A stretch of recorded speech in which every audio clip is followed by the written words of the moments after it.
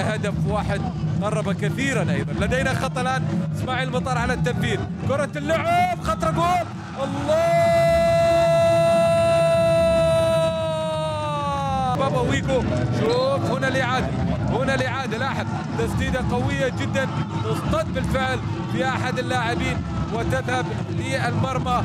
اذا هدف أول. ملعوبة الآن أمامية. محاولة خطيرة. لا زالت جول. جول! الآن بطريقة اهداء لأن ما في أوفسايد. قرار سليم تماما من المساعد سعيد السريح وهدف سليم تماما. هدف ثاني سليم للعنابي الآن يتقدم بهدف محاولة دينو ممتاز ممتاز. يعني مدافع جيد. لاحظ مرتدة الآن بابا ويجو سريع.